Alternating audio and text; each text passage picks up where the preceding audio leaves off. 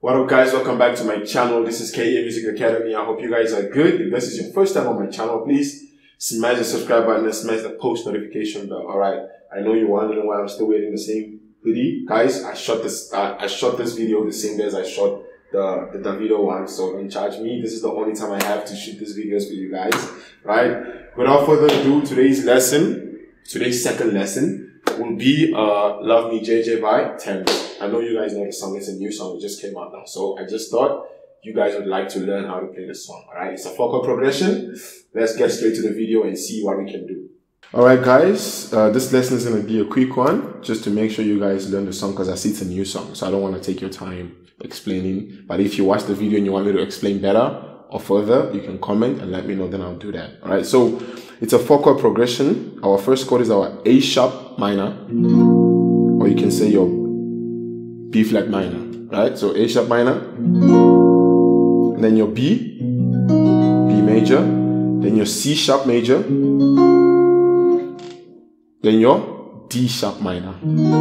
Right, so I'm gonna have all these chords around somewhere here. You could be you'll be able to read and see what chords I'm playing. All right, so let's do it again. Our first chord is a our a, uh, A sharp minor, then your B major, C sharp major, D sharp minor. So it goes.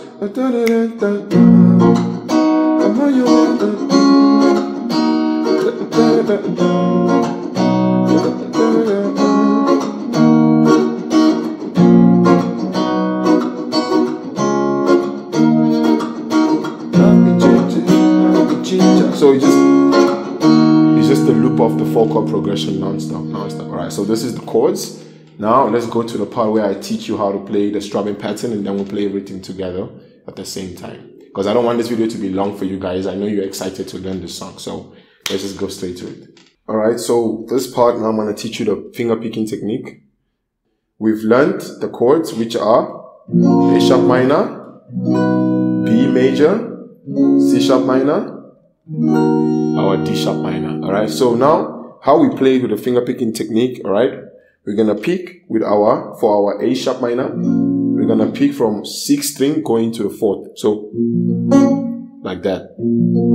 See what I did there? So your A sharp minor and your B major is the same thing. You play it the same way. So,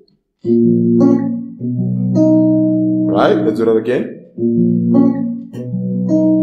More time. Last one.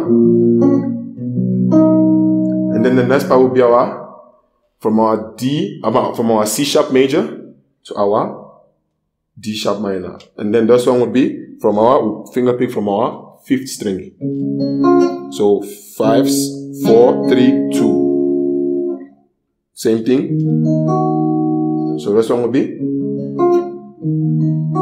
again one more time. And that's the chord, uh, that's how you strum. So I'm gonna try play everything and then you hear what it sounds like. So one, two, three, go.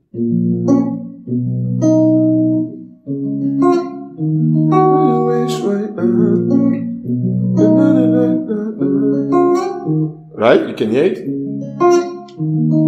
So the only difference is for your normal barre chords, from the six, you play your six, five, four, six, five, four, and then your C sharp, you play five, four, three, two, five, four, five, four, three, two for your D sharp minor. Okay, let me do it one more time.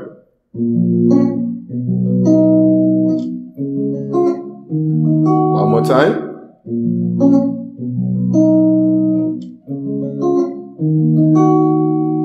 Right? That's your finger picking technique.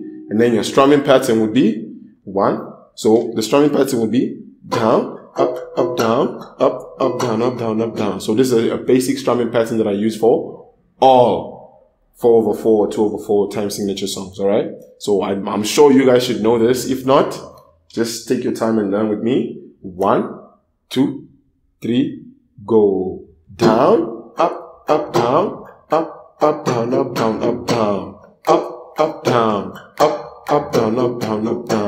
So you practice the strumming pattern over and over again until you get it properly. And when you do get it, when you play with the chords, it should sound like this. I'm on your way,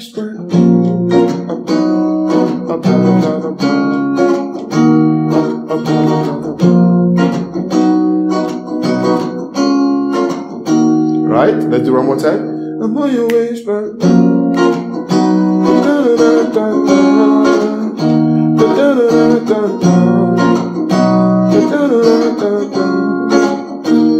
Or you can go.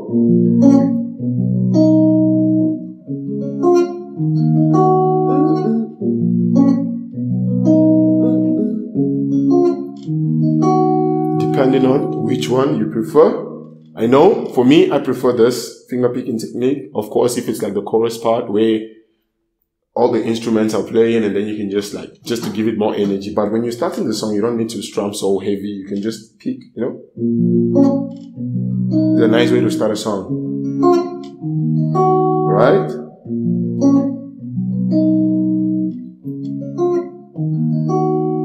Alright, and that's the video. I hope you guys enjoyed and I hope this video was really helpful.